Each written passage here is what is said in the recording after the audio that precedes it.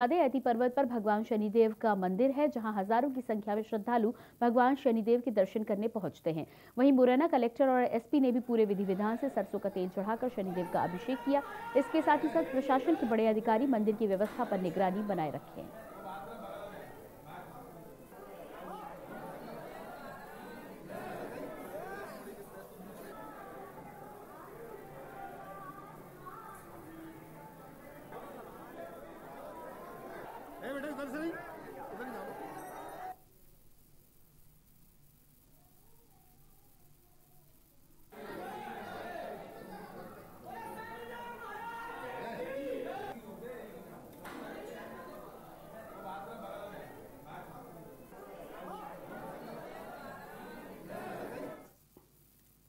देवालपुर के हतौद क्षेत्र में युवक का